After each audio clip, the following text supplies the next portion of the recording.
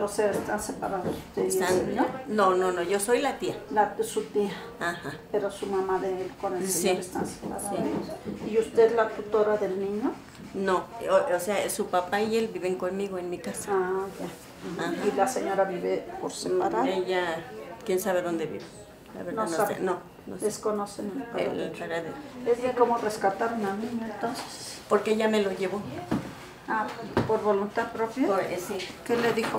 Este, Que ella ya no lo soportaba, que lo iba a internar o este o lo iba a meter a un hospital para no sé qué tanto me dijo. Le dije, déjalo allí. mm, ya, ok. ¿Desde cuándo va, no va a la escuela el señor? Desde marzo.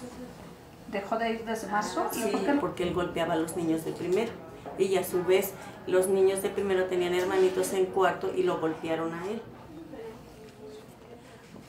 ¿Cómo te sientes, este, Adrián? Bien. ¿Te sientes bien? ¿Ya no quieres ir a la escuela? Sí, sí quieres ir. ¿Y por qué dejaste de ir? ¿Te sentías mal? ¿No? Ya no quisiste ir, ya no te llevaron. No me expulsaron. Te expulsaron, pues ¿qué andabas haciendo en la escuela, Adrián? ¿Te portabas mal con tus compañeros? ¿Sí? ¿Qué les hacías? Les pegaba. ¿Por qué les pegabas? ¿Por qué les pegabas, Adrián?